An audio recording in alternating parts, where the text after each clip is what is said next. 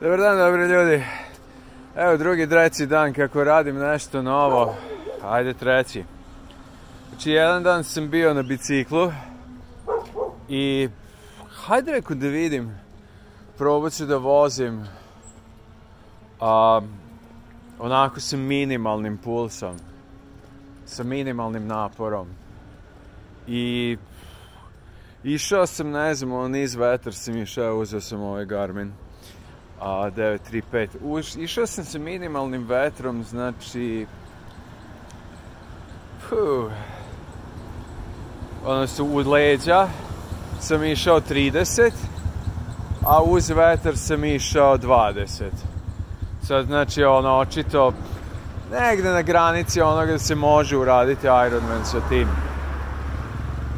Isto tako sam išao sledeći dan trčanje Znači, puls mi je bio 107-8 um, kada sam išao na... Ne znam da li hramljem. Imam osjećaj da više idem desnom nogom na desno. I evo, ova mi je patika nije toliko izrasturana koliko ova. Čovjek mi je desna više izrasturana od leve. Tako da očito više stajem na desnu nogu, nemam pojma šta se već dešava. Ali dobro. A, izgleda sam čopav. Um, sa šta je tu je? Sve u svemu, pokušao sam da idem na znači što što manjim znači najmanjim mogućim a, brojem otkucaja srca u minutu i to je bilo negde ispod 110 I interesantno, evo danas sam kao, ajde sad ću još jedan takav trening i pokušavam da idem, ne znam, sa otkucevima srca 107, 108, ali ne, automatski, bum, odmah ide na 140 ili 130 najmanje. Ko, koliko god sporo da trčim. Evo, sad hodam, pa sam na 100. Um, tako da, mislim da ću uzeti u obzir to što govore ovi majstori za za treniranje. Znači sad sam evo našao, čitam tu knjigu uh, ne znam, Training for Uphill Runner. I eto, baš kažu da treba trenirati u zoni 1 što više da bi vam ta zona 1 bila što jača. I ja verujem da sam jednom kad sam radio sa trenericom da je ona htjela to da postigne, ali ne tako što smo gledali na sat i na, na zonu u kojoj sam, već kao da trčim sporije. Ali, iskreno mislim da jako, jako, jako, mislim, znam da je jako teško naći trenera, isto kao što je jako teško naći nekoga ko zna da ispeče dobar hleb ili te najjednostavnije stvari uvek su najteže. I ja mogu da se ubrzam u smislu, ono ne znam, mislim da je baš taj problem da kad ljudi treniraju, bar po onome što sada čitam, da kad ljudi treniraju, to ovo je sve novo meni, pa, pa delim sa vama, interesantno će mi biti pogledati ovaj video za godinu dana.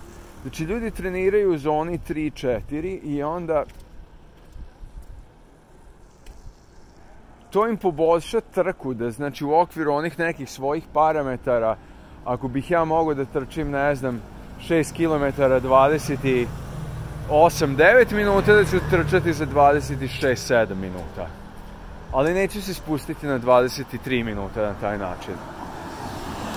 Ako hoćete da kvalitativno poboljšate svoje, a to je ono što sam ja hteo, svoje vreme i trčanje sve, treba da ta zona 1 kad vam je puls ispod 100-110. Znači na biciklu i 90 kod mene. Na trčanju ne mogu toliko da ga spustim. Da u toj zoni jedan kad sam onako pju, cruising, easy, da je u njoj treba da budem mnogo, mnogo brži ako u njoj mogu da uradim 6 minuta po kilometru, to bi bilo, znači da bi ono, otišao na 4 i po i ispod u ovim drugim zonama. I evo sada ću probati to da uradim, znači da treniram isključivo znači nedeljama, ako ne i godinama. Oni kažu godinama, ali ajde da probam za prvo nedeljama da vidim da li će biti poboljšanja. Na, znači, trčanju ispod 110, evo sad je 97 je puls dok hodam. Juče sam 95, juče sam trčao sa 107. Dobro, ja sam trčao sporo, ali svejedno trčao sam se, ne mogu. Znači, broj 1, da odem ispod, da trčim strogo u zoni 1. Jer onaj što i treneri kad hoće to da postignu, stave me u zonu 2, 2 i po 3. Znači ono kad sam 130, 140 puls. Mada ja verujem da su oni hteli da postignu manje. Ali... I mislim da on, ono što sam shvatio je sa, sada sam mislim da sam shvatio da usprkos tome što da, da ako treniram sa tim da mi je puls 130, 140, da će se malo poboljšati brzina na tom pulsu. Ako treniram stalno u tom pulsu. Ali, da neće doći do, do kvalitativnog pomaka onog ukupnog metabolizma koji imam. Već da sada je to novi eksperiment. Nešto što treba da se pokaže u sledećih godina dana i ako se pokaže tačnim, ovo biti veliko, veliko otkriće za mene i za bilo koga ko gleda ove videe, a to je da trčim u onim minimalnim, znači strogo, strogo zona 1 i da strogo, strogo radim u zoni 1 i da na taj način zonu 1 povećam toliko da kad dođemo u zonu 3 i 4 da već budemo onako uf, super brz u odnosu na to gde sam ja sada. Ah, tako da danas, danas sam pokušao ponovo da trčim i shvatim da ne mogu. Znači ovo je sad za mene zona 1, hodanje. Evo već sam 101 puls. Tako da, ono što ću da uradim to je da strogo se držim. Ako mi treba više odmora, više ću se odmarati. Znači evo danas će biti ovako aktivan dan. Aktivan, zanimljiv, ali ništa trčanje, ništa bicikl. Ja ću videti u toku sledećih dana da li recimo mogu biciklom da postignem to da ipak radim 60, 70, 80 do 90 plus na biciklu a da nisam a da ne rasturim svoje trčanje tako da ne znam da li sam danas trebao da uzmem dan odmora ili dan biciklizma a, ali eto, znači da ponovim strogo, strogo ispod, strogo zona 1 i u nadi da će se zona 1 poboljšati. Znači danas ponovo pokušavao sam trčanje, nisam uspio da uđem u zonu 1, bum, prestajem. Treba mi odmor, mada i juče sam trčao možda 5-6 km. Ali dobro, nisam trčao par nedelja, Bicikl je bio bez problema. Bicikl sam išao 80 km, 70, 80, ne mogu da se setim, 70. Bez problema. Ali, ništa, polako gradimo to i možda, možda će od ovog novog, ove nove Gospode Bože. Eto šta ljudi rade, prde na prdavcima kakvom ja svetu živim. Evo i ovi su ovde siromacije, ne mogu da svoje dvorište očiste. Jel, govno na ulici. Ceće. Ali dobro, sa šta je tu je. Um, šteta je što ljudi više ne razmišljaju o ovakvim stvarima, a manje o tome koji će prdavac da kupe i uh, kakve igračke i gde da, kakvu plastiku useru i kome. Ali svejedno, e, vidi, rasednik, super.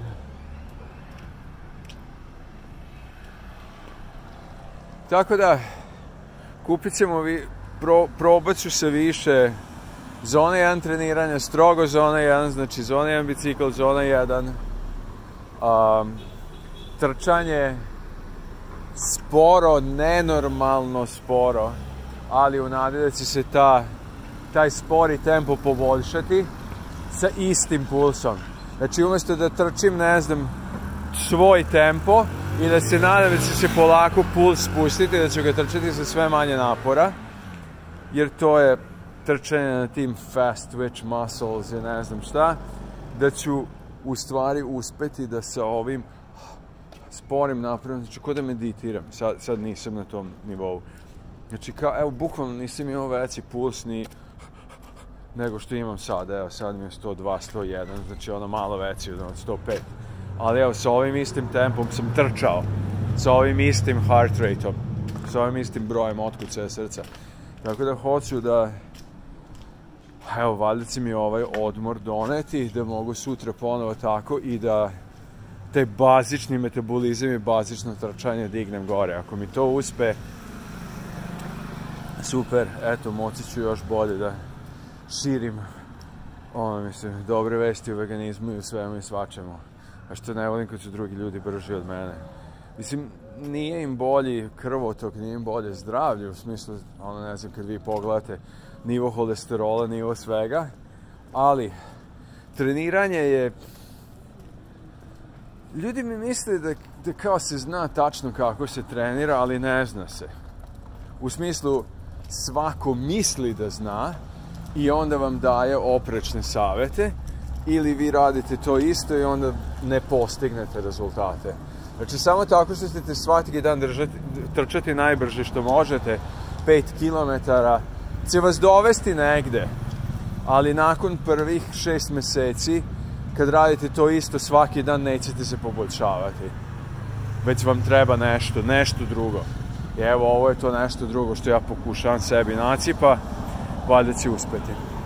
Ok, evo, recite, napišite u komentarima da li je ovo bio najdosadniji video što, će se, što ste do sada videli ili će, ili eto ima, ima i nešto dosadnije da ste videli od mene ili od nekog drugog.